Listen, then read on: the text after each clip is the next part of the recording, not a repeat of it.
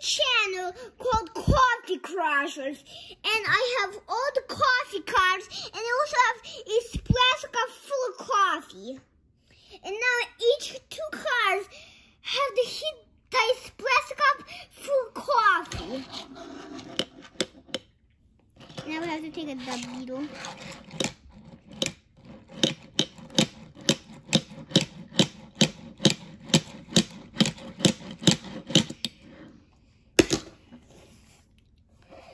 So now we have to take somebody else here to the Classic Crashers. Next up is the Plymouth and the exclusive car.